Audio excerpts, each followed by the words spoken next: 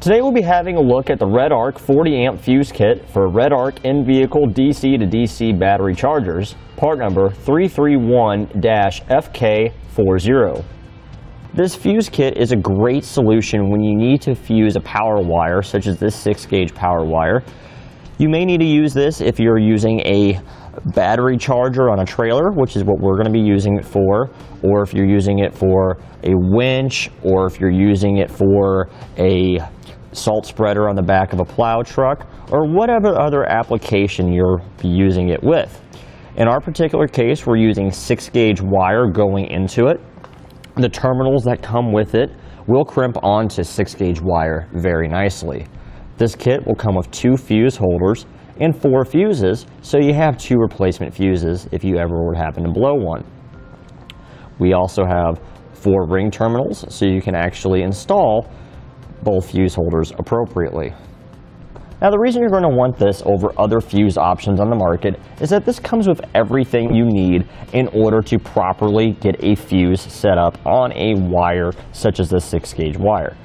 The reason you want to have a fuse installed is because if you were to have a short circuit, you don't have to worry about an electrical fire happening in your trailer, your vehicle, or damaging your piece of equipment that's being powered by this. The fuse will blow, thus eliminating the risk of an electrical fire or causing damage to your expensive devices. Now the fuses that come with this kit are rated up to 40 amps. So if you were to have a draw over 40 amps, the fuse would then blow and then will protect the system.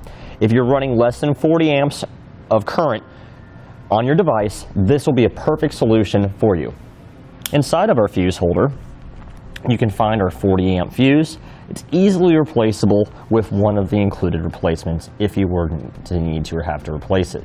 You don't have to worry about running to an auto parts store in order to get a replacement. You'll already have it, so you're safe for the future.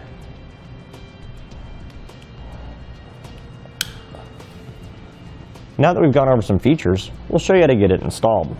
As you can see here, we have a power wire in the engine compartment of our vehicle. And in order to hook this up to our battery, we need to make sure that we have a fuse to protect the circuit that this wire is going to power.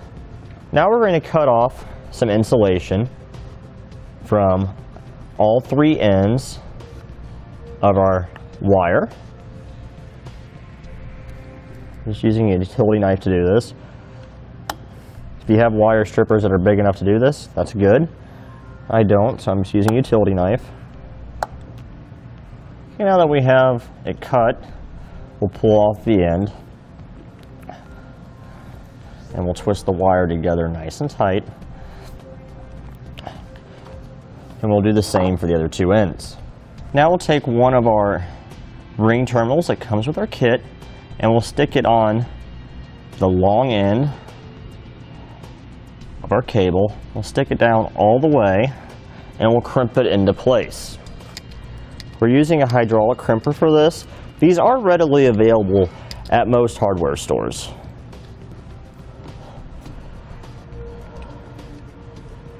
We did the same for one of the other ends of our short cable. Now on the other end of our short cable, since we're using 6 gauge wire, we're going to attach a 6 gauge ring terminal with a 3 8 of an inch diameter hole, part number SWC 57016 on our website. And we'll use our same crimping tool to crimp that into place.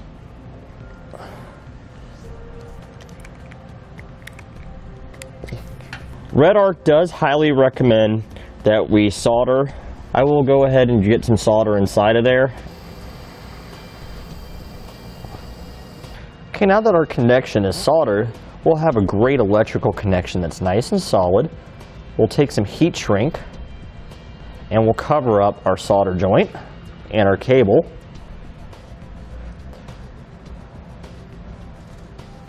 And we'll use a heat gun to shrink it down.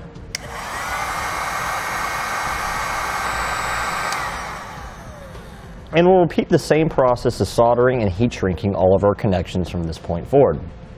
Now we'll take our fuse holder We'll move the nuts.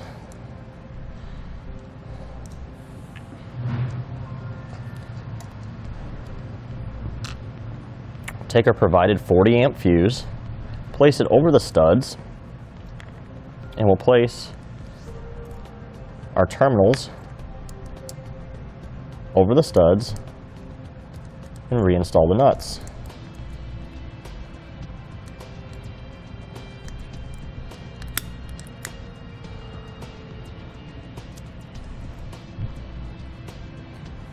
And we'll use an 8 millimeter socket to tighten our nuts.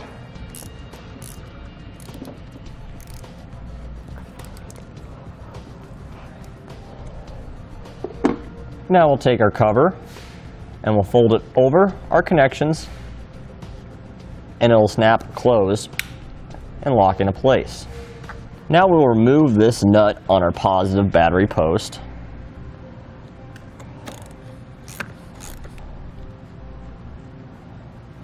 Place our ring terminal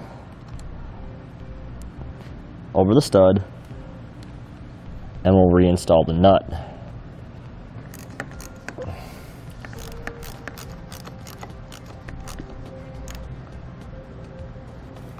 And that completes our look at and installation of the Redarc 40 amp fuse kit for Redarc in-vehicle DC to DC battery chargers, part number 331-FK. Thanks for watching and click the link in our description below to shop, learn more, or visit us at eTrailer.com. And leave us a comment if you have any questions.